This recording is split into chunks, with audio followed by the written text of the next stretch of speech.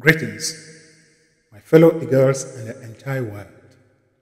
This is Eagle Emmanuel Mensah with inspirations and guidance from Eagle Halad Mensah in the unseen world, coming into your homes and your minds with a message of empowerment and enlightenment.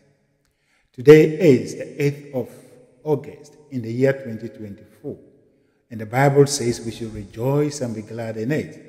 And for that matter, I take this opportunity to invite the whole world to join me to give thanks to God for the day that He has granted unto us and life in general.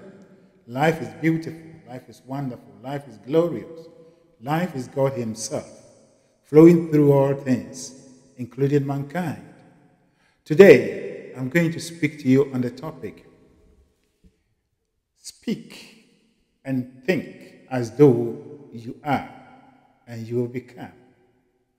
I repeat, think and speak as though you are, and you will become. For the past days or weeks, I've been speaking about the power of thought. And I've related it to a lot of things, particularly the, the, the personality of Jesus Christ. Today, we are going to look at the power of thought and how we use the power of thought to make ourselves or to unmake ourselves. In this world, only a few people understand that thought is the beginning of everything. Only people actually think about their thoughts. Thoughts as, as a topic. It's not something that men and women want to listen to or want to talk about. But as a matter of fact, that is the key, that is the bedrock of everything that we have become and we will become in the future. The whole universe came into existence due out of thought. Everything that we will ever see, everything that we will ever experience, are all the product of thoughts. And it is because men and women understood the power of thought, and therefore they took it from the right perspective. Many men and women, most, if not all, are not living life that they can call their own life, but they are living life that has been prescribed by others. They are living, organizing their life according to what others have given to them. But they themselves do not use their mind to think and to receive or to even, yeah, to think of how to create their life. And so today, my duty here is to awaken you. And it is my prayer that within these 20 minutes, I'll be able to say something that will ignite the spark in you, such that you begin to become conscious of your own thoughts. Thought is simply what we generate when we think. And every human being on earth here is thinking. Even when you are asleep, you may not be thinking consciously, but unconsciously you are thinking. But we are looking at a conscious thinking. Every human being, whenever you are awake, whatever you are doing, whatever you are going through, you are thinking about it. And all that you are doing is generation of thoughts. And the thoughts that you will cast upon every circumstance, every situation in front of you will define you, will either make you or make you. So when you are in a fire, if you have the ability and power to deny and look at the fire in a different way, you will walk out of it safely by the power of your thoughts, as a matter of fact. In the same, in the same way, if you are in a safe place, and you look at your life as something that is very that is very insecure, that is unsafe, even with all the security things that surround you, things that you are afraid of will come to you. That is a fact. And so thoughts makes and unmakes us. Thoughts mold and shape our life as human beings, individually, and then collectively thought mold and shape our collective life that we call world. And so, You are supposed to think as though you are. If you think and speak as though you are a particular thing, you will become that thing. It's a fact, it's a law that what you think is what you will get. What you believe in is what you become. What you perceive as true in your life is that will happen. And so, truth, as a matter of fact, is relative. What someone will look as true and call it painful, another person will look at it as true and turn it into something different. And so, it is about the perception, it's about the window through which we are looking at things that makes it true to us. Anyway, and so we are supposed to think and speak as though we are. And as we do that, what we are thinking, we will become, will be transformed into that thing. And so when you look in the Bible, Bible, the Bible speaks about faith, and especially Apostle, uh, Apostle Paul wrote extensively about faith. And in the book of Romans, chapter 4, verse 17, he spoke of Abraham being the father of faith. And in that verse, he said, God called things that are not as if they were, and they came into existence. And so, in the beginning, in the Bible, as we know, there was nothing like a tree, there was not, nothing like a sea, there was nothing like anything that we see that we call our world or our universe. But they were not in existence. But by faith, God declared them into existence. So God saw them as they wanted them to be in his mind. And he declared them into existence. And we are told that we are the incarnate. We know it by fact that we are the image and the likenesses of God. We are God incarnate on earth here. And therefore we operate or we act in accordance with the operation of God. And so, if God declared things that were, God saw things that were not in existence as if they were, and declare them into existence by the power of thought, then you and I, as human beings, we have no any other way of operation than the same way that God operated. And therefore, you are every day declaring things into your life. Circumstances and situations will appear in your life. But it is your divine right and your responsibility to qualify them the way you want. And if you think over the situation, even though it may be painful, it may be horrible, it may be sad, but if you think over it as though it is something beautiful that you want to create over it, you will become that thing as time goes on. That is a fact. But if you qualify it that it is painful and therefore you, uh, you, you, you deserve sympathy or you resign to your fate, in that way, too, your thought will help you to become that, and then you continue to destroy your life. And so, we are supposed to look at things from the positive side. And the positive side is to think things as if they, they are. Even though we are not seeing them momentarily, we are supposed to see them in our mind, imagine them, create these images in our mind, and see them as real. And as we do that, we declare them into our lives. We declare them by our words.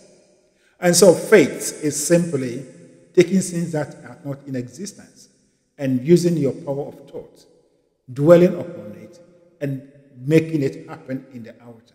It calls for determination. It calls for persistence, as a matter of fact. And so you can take a, a chair and sit down and ponder over your life. There are a lot of things that are not going on in your life. But you have accepted them that that is the truth.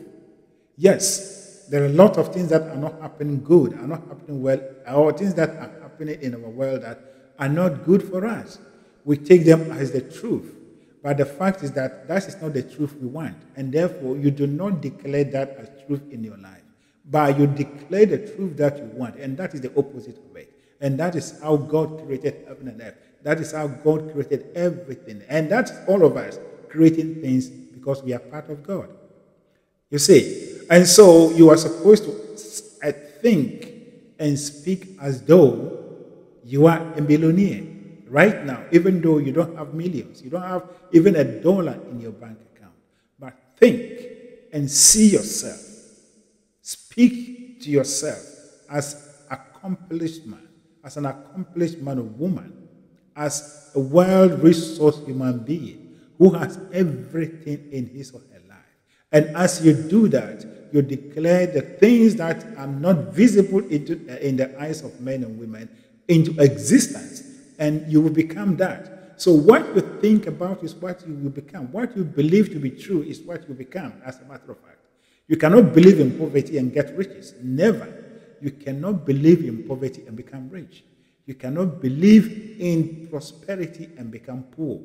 This is true. You cannot believe in health and become sick or to get a bad health. You cannot believe in sickness and get good health. That is a fact. And so everything has or has its basis on belief, and belief is taught. And so we are our life, everything that we are going through, everything we are doing is governed or is governed by our thoughts. And what we qualify our situations, our circumstances by is what we will see, is what we will become. And so you see, men and women, we have established some basics that that is the truth. The world is bad. The world is going this and that and that. And so we emotionalize this. We think about these things as our truth. And then when our thought manifests in, the, in our life, then we turn around and say, You see, we are saying this all the time. The enemies are at work. People don't want me to succeed. People don't want me. But as a matter of fact, you are seeing that in your mind and you are speaking to it. So if you don't want it, speak the opposite. That is, speak or think and speak as though you are and you become. You don't have to have millions of money to believe that you are a billionaire. You don't have to have billions of dollars in your bank account to believe that you have the ability to become a millionaire. But you have to think about it and dwell in that and see yourself in that state, and you will become. So long as you continue to qualify your situation, you continue to identify yourself as a poor person, as someone who is disadvantaged, as someone who is shortchanged, so shall it be unto you. That's a fact. But if you can turn around and believe, act on the, on the principle of faith, that I do not see things in my life, even though right now things are not the way it's supposed to be. I don't have the billions of dollars in my bank account. But I know by the power of God, all things is by thought. Therefore, I am molding and shaping my billions and dollars in my bank account. And as I dwell in this mind, as I dwell in this mentality, as I dwell in this mindset, I will become it in the same way. You see, our life is like how we, we, we guide plants. You can put a plant in a container and then when the plant shoots out, let's say, yeah, and you want it to go in a certain direction, you put a stick there, you put this plant on it, the creeping plants. If you put the plant on it and you begin to guide it, you, you give it the direction. You want it to go left, you want it to go right, you want it to go up. You can guide a plant by simply giving it a direction and it will go and become exactly as you want it. In the same way, our life could be likened to water, the flowing river.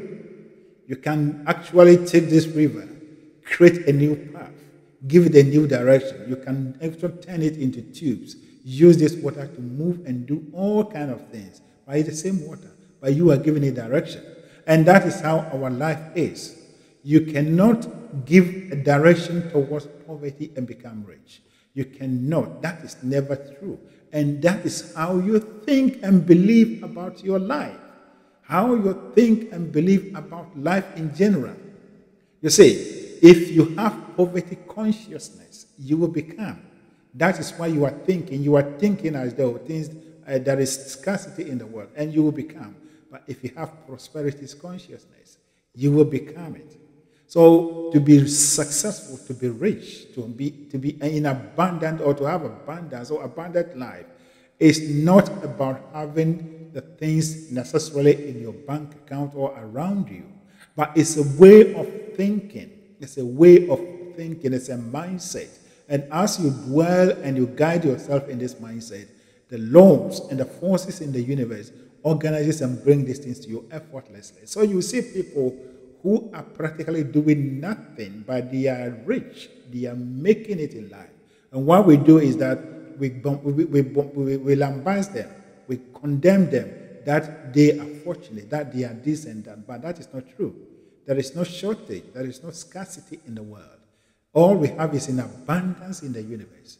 But it is only our ability to think momentarily as though we are what we, are, we, we, we, we desire. And when we think along that side, along the, that, that particular thing, and believe and walk in it without doubting, then we will grow, naturally grow to become it. And so, think as though, think and speak as though you are, and you become. Think as though you think and speak as though you are a millionaire, and you become. Think as though, think and speak as though you are a billionaire, and you will become. Think as though, think and speak as though you are the greatest man in the world, and you will become. Think and speak as though you are a prominent person. You are this or that or that. Every good thing that you can ever desire, imagine as your desire, and believe and dwell in it. It will become because you are the incarnate of God.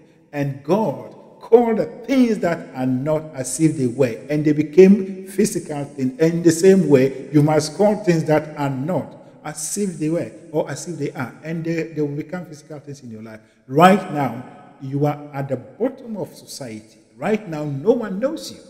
You don't have to concentrate about where you are now. But what you have to concentrate on is what you want to be. Begin to do things that you want to be, even in your own small way. Begin to act, begin to speak, begin to think in alignment with that thing. And as you do, you grow. You naturally grow to become that. That is a fact. And so think as though you are and you become. It's a universal truth. It's a universal truth and a law that governs all human beings. And it is all by the thoughts that we generate. How do you define yourself? How do you see yourself? How do you see yourself in relation to all other people? You don't have to compare yourself with any other person. You don't have to compare yourself with any other person. That is competition. But you are supposed to look at yourself as a true human being created in the image and the likenesses of God with all resources, everything that you need to make, to, to make yourself a prosperous one. And it is only when you dwell in this, you mind your own business, you mind your own business and think and emotionalize, think and dwell in this. Say that all that other people are doing, other people already have, doesn't worry you, doesn't bother you, but, but you rejoice in their success. Then sooner than later, you also grow to become like that. You see, so the world we live in, our life, is a psychology, is science. And once we begin to, or once we identify the science and understand the science of living, we will make it big and big and big. No one is actually taking what we're supposed to have.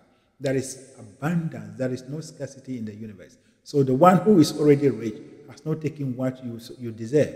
The one who is already healthy has not taken your health. The one who has any other thing has not taken what belongs to you, that there is scarcity. Everything is in abundance.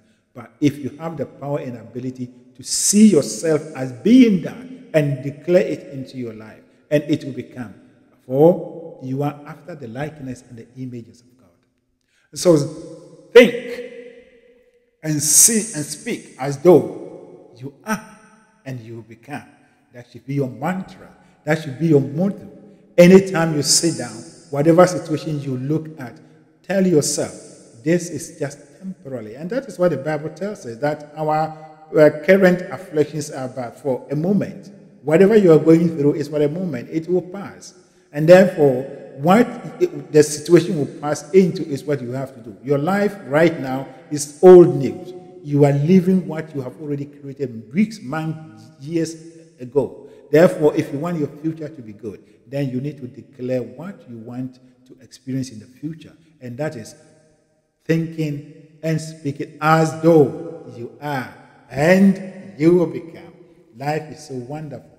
Life is simple. Life is not complicated at all. As observed by my dear and late wife, Eagle Helen Mensah, that life is not complicated at all. And, and that's true. It is indeed true. Life is not complicated. When we understand the laws of being, when we understand the laws of the universe, we gain power, we gain control over all things and circumstances, and we become masters of circumstances. We move, we thrive in, even in all adversities because we know how to be deliberate creators. That is my message for you. That is my encouragement for you. Now, whatever thing that you are going through, you may not be having money. You may not be having that. You may not be having all the things that all other people are having. Do not worry yourself and do not actually envy them. Envy those who already have, but bless them and be happy for them. But the fact is that you are the one sitting upon the flow of these things into your mind or into your life through your, your thinking. Change your thinking. Look at things as if they were, look at things as if they are already in existence. They are already in existence in the non physical world. And as you do that, you declare that non, those in the non, uh, non physical world into your existence. That is a fact. And so, my encouragement to you is that all is not lost. You still have the power and ability. It does not matter your age, it does not matter who you are, it does not matter where you are. You can be in the remotest part of the world and still make it and still turn the whole world to you if you have the power and an understanding, the knowledge and understanding to know that your thoughts are creative, your thoughts are powerful, and thoughts are things. Everything that you are designing are in your mind, and they are the thoughts that are flowing through you. And that is the Savior, the Christ, that is always knocking the, the doors of your mind, seeking higher expression to elevate you, to move you, to take you from all lower level of existence to a higher level of existence.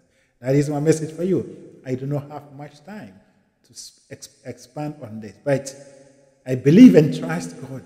I believe that within my spirit that this will touch you and you begin to become conscious of what you are thinking, what you are daily declaring into your life. Do not look at life circumstances right now as the truth. And even if it is the truth, that is not what you want in the future. Therefore, look for a different truth that you want in the future and think and believe in that. And that future be real to you. Now, May the overshadowing presence of God that keeps the stars in the open such that they do not fall on us. The laws of the universe that keeps the planets in their various orbits that they do not clash with one another. Lead and guide you and direct you. Open your mind and illuminate you such that you become awakened to your indwelling powers. Take control of your mind and know that your thoughts are powerful Your thoughts are things, good or bad. Therefore, dwell on the good ones, and the good ones will manifest. You will declare from today going, see things that are not as if they are already in your life, and you will become. Ah, that is the truth. Think and speak as though you are, and you become. God bless you. Have a wonderful and a beautiful day.